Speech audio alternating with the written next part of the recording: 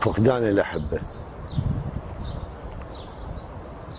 بحياتنا هواي شخصيات مرت علينا. ورحلوا إلى عالم الموت. بس يعني أكو أكو أكو شخصيات ما تقدر تنساهم. لا تقدر تنسى ضحكتهم. لا تقدر تنسى بكائهم. ولا تقدر تنسى ابتسامتهم. ولا تقدر تنسى بصمتهم بالحياة. لأن هذه شخصيات ما ممكن أنه ما ممكن تنساها. أنا يعني في شخصية ما أتذكرها أحزن. شخصية ما أقدر أنساها. شخصية فنان نزار كاسب. الله يرحمه. هذه الشخصية الفنانة. ممثل رائع.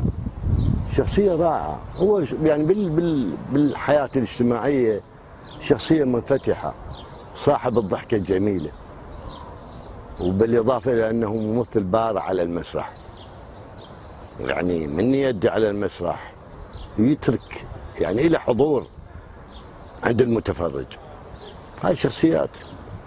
باقية باقية بذهني. ما ممكن أنساها حالة حال الممثلين الرائعين بالعالم. أنا هيك يعني أقارن هذه الشخصية بالممثلين الرائعين. الله يرحمك يا نزار كاسب. أيضا في منطقة الفقدان شخصيتين ما نقدر إنه ننساهم. مستحيل. الأب والأم. يعني أنا مرات أفكر أقول هذول يعني هاي الأب والأم. يضحونا لا قد عمل حتى يجيب لنا قوت اليوم. الأم قد راعتنا. والشهر والمرض.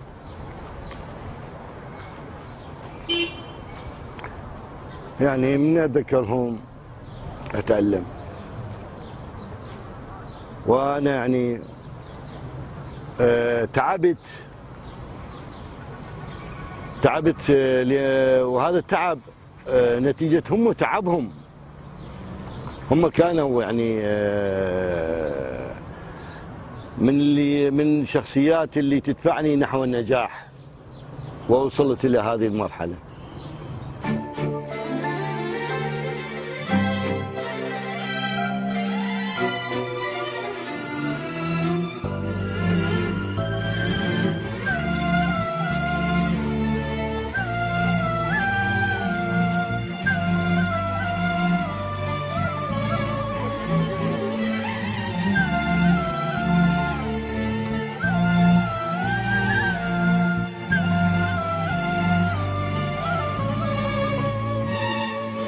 الدنيا فراق أخ فراق لابد نفترق فديوم جنت غلطان جنت غلطان حسبتك تظل الدوم أتعرف معنى الكلمة؟ عيسى ما كان سوى كلمة.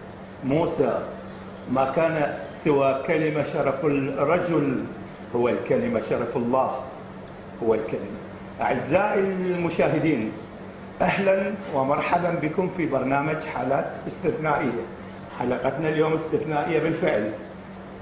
ضيف الحلقة الدكتور عبد اللطيف هاشم. دكتور عبد اللطيف هاشم علي الكعبي. خريج معهد فنون الجميلة في محافظة البصرة جمهورية العراق عام 1986 خريج فرع الإخراج من معهد فنون الجميلة بعد إكمالي لمعهد فنون الجميلة أكملت دراسة البكالوريوس. في كلية الفنون الجميلة جامعة بابل في قسم التربية الفنية الاختصاص تربية مسرحية. عام 1992 تخرجت من كلية فنون جميلة جامعة بابل. بعدها أكملت الدراسات العليا آه، در- لدراسة الماجستير عام 2000 وكانت آه، وكان موضوعي عن آه، آه، التقنيات و- وبالأخص الأزياء المسرحية. بعد إكمالي للماجستير أكملت آه، دكتوراه في نفس الكلية كلية فنون جميلة جامعة بابل.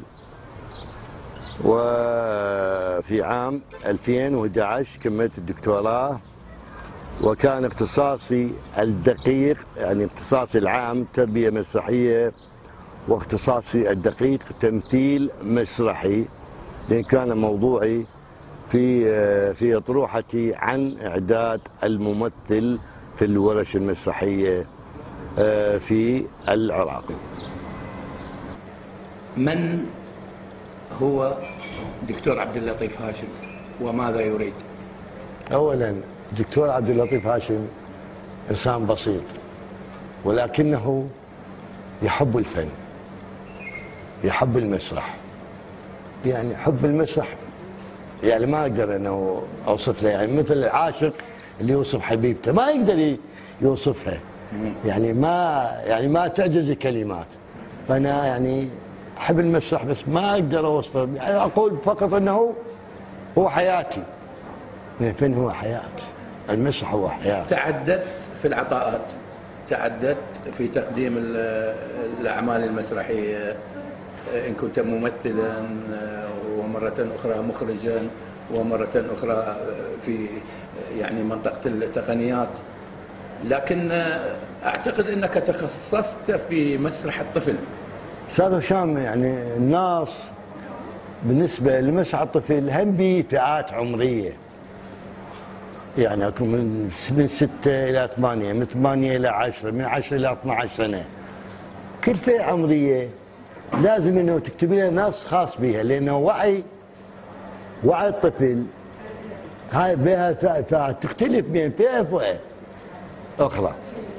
ولهذا يعني لازم إنه المؤلف يكون ذكي إنه يحدد الفئة العمرية. مسح الطفل يحتاج إلى خيال.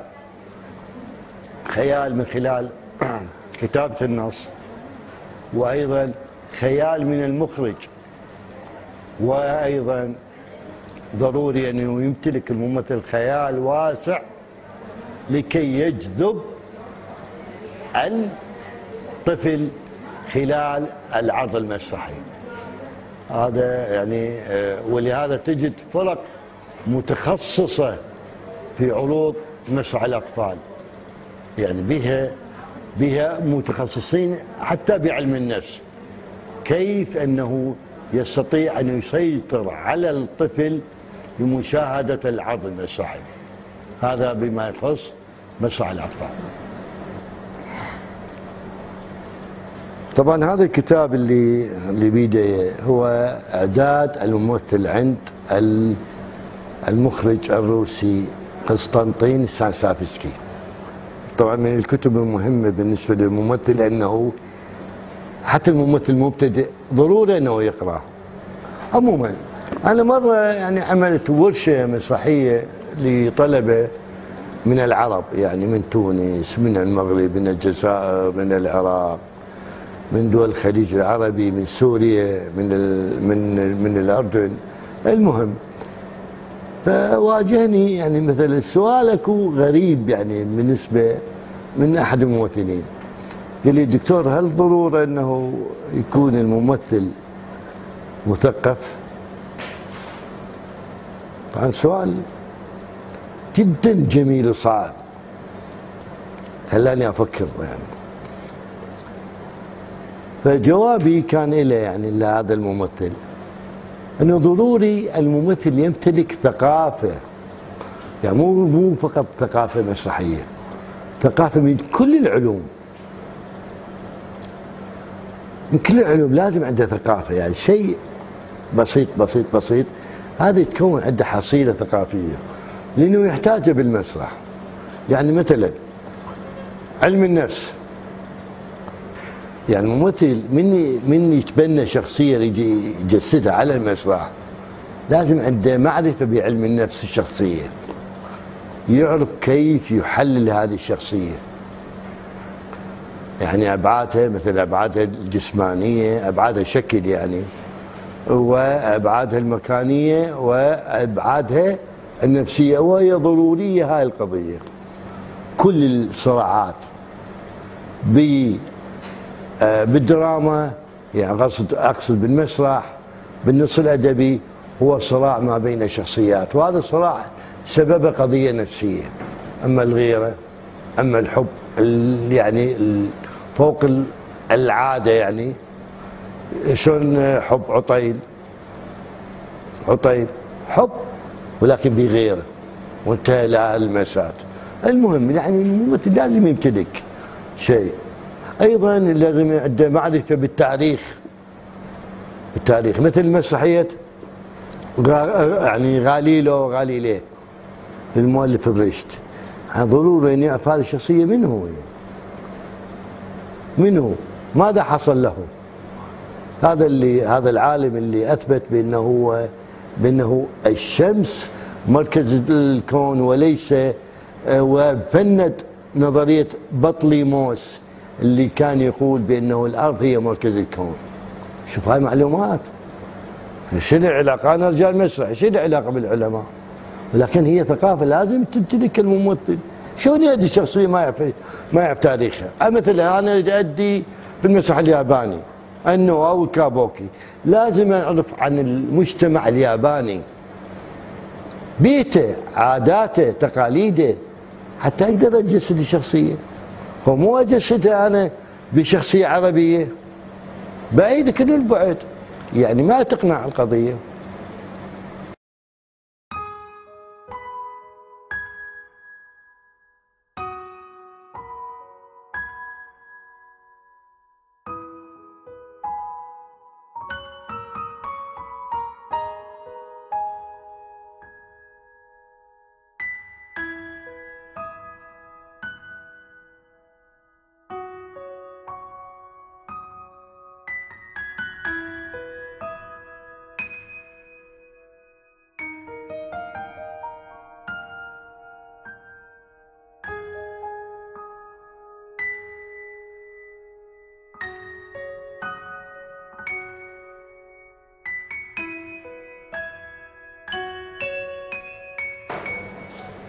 أحن إلى خبز أمي وبسمة أمي وضحكة أمي وتكبر فيه الطفولة يوما على صدر أمي. الأم الأم مدرسة الأم حياة الأم هي الحب هي العاطفة هي الخير. كل كل الصفات الجميلة بالأم كل شيء بحياتنا وتعلمناه على يد الأم. فالأم يعني بالحقيقة تستحق هذه التسمية. كلمات أن كلمات لم تقلها إلى والدتك. بقت في داخلك بقت في قلبك. ماذا تقول لها مع الكاميرا رسالة. الدكتور عبد اللطيف هاشم إلى هنا. أفقد الشام فقدت الشام فقدت حنانك فقدت حبك فقدت رعايتك فقدت ريحتك بالبيت. أحن إلى خبز أمي وقهوتي أم ولمسة أمي إلى خبز أمي وقهوتي أمي ولمسة أمي وتكبر في الطفولة يوما على صدري يوم الموت يعني موضوع ما ممكن أنه ننهيه يعني ينتهي في في طرح ما في العروض المسرحية. ولهذا دائما يطرح بشيء جديد جديد جديد جديد.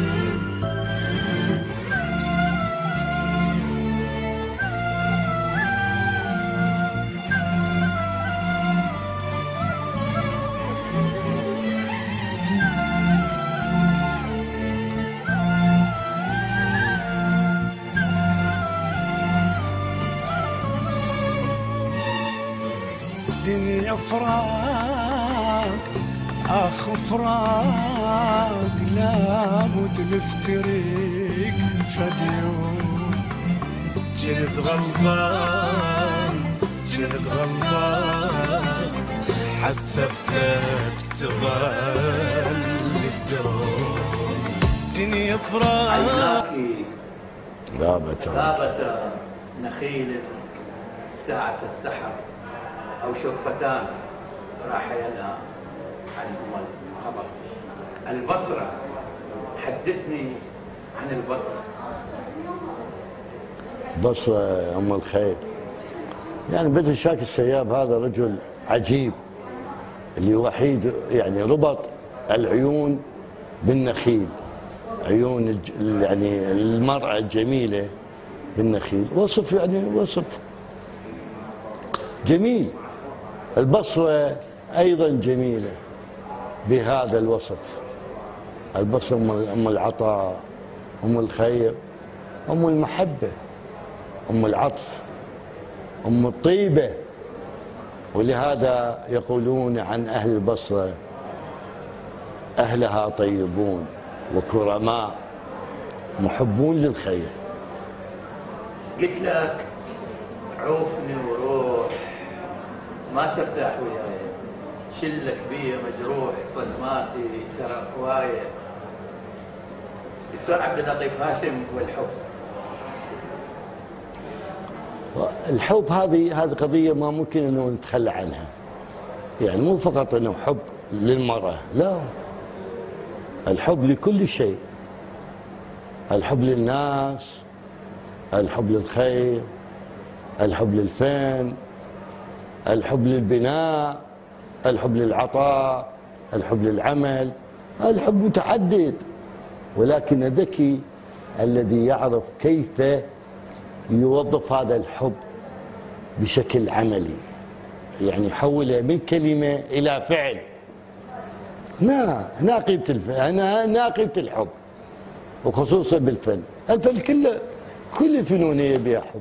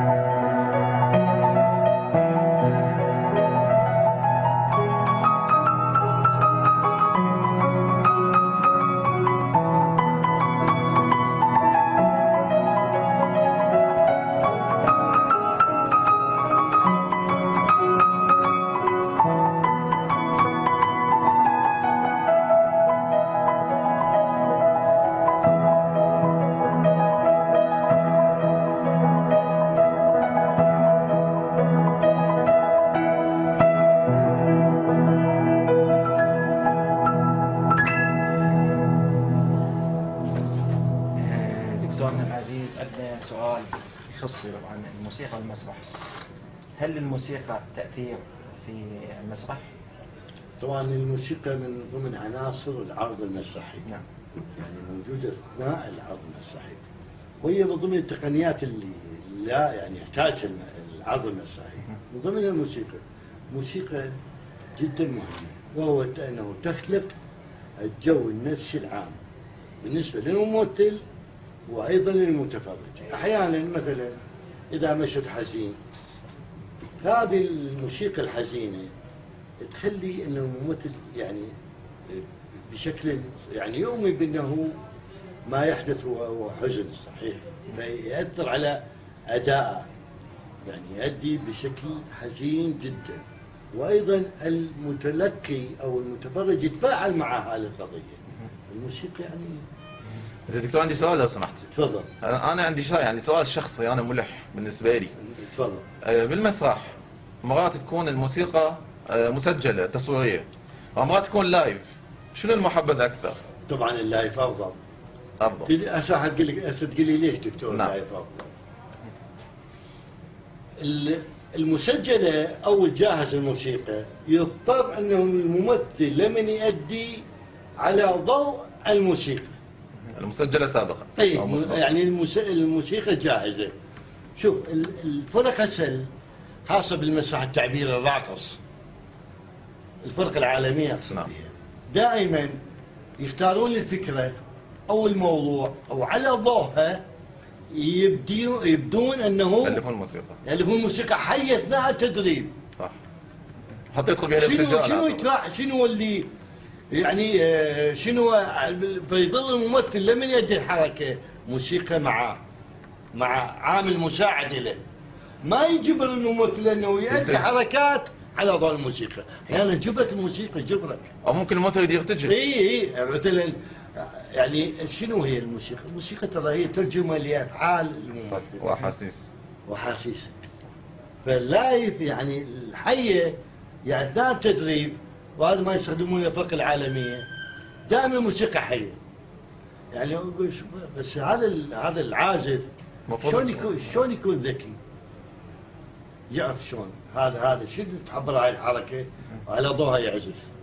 أعتقد نفتقر هذا الشيء طبعا بالبصرة طبعا. كله مسجل بالوطن العربي كله مو بالبصرة. ماكو live قليل ما عندنا live صح. زين. أنا أجيب موسيقى جاهزة. ها إي والله إي هاي يعني هذا ترى على صح. مو؟ الفرقة العالمية ما عندهم هاي القضية. دائما موجود عازف اثناء التدريب.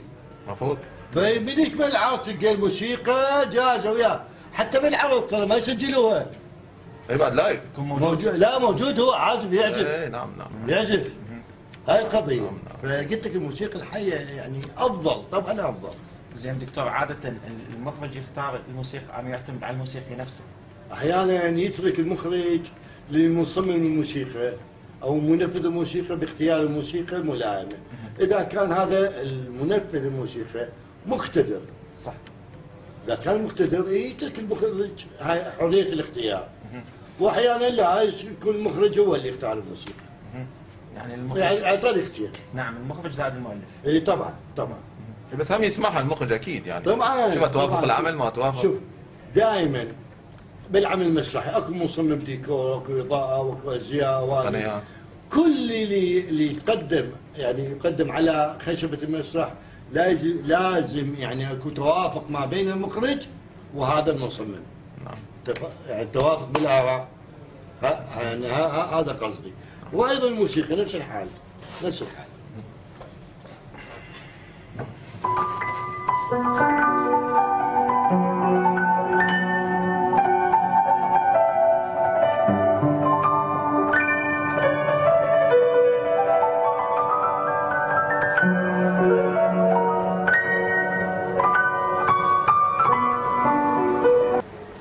حلمي انه امتلك بناية مسرح خاصة بي؟ هذه البناية أخصصها لكافة الأعمال المسرحية بشكل مجاني حلمي أنه أدرب بها الممثلين من خلال إقامة ورش مسرحية لتطوير قدرات الممثل.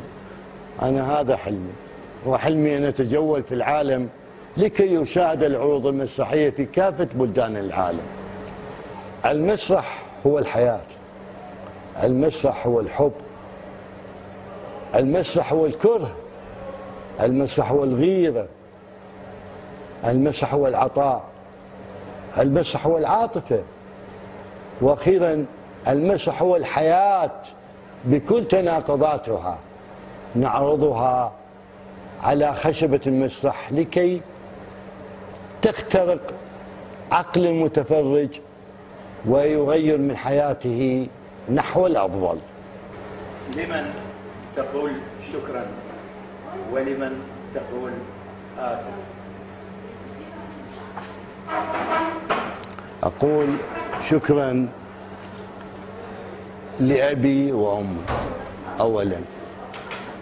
وثانيا أقول شكرا لعائلتي لزوجتي التي ضحت معي. طوال هذه السنين.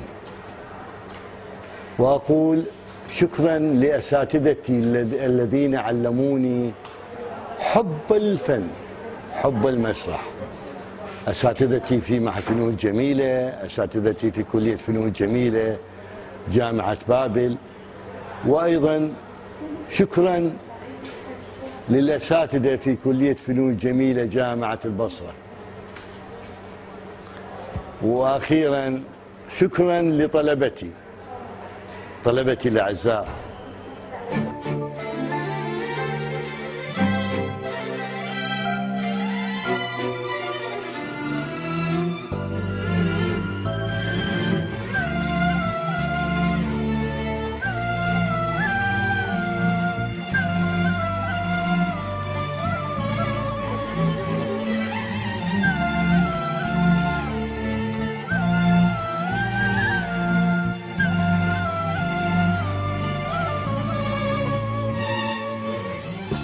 فراق أخ فراق لابد نفترق فديوم كنت غلطان كنت غلطان حسبتك تظل الدوم دنيا فراق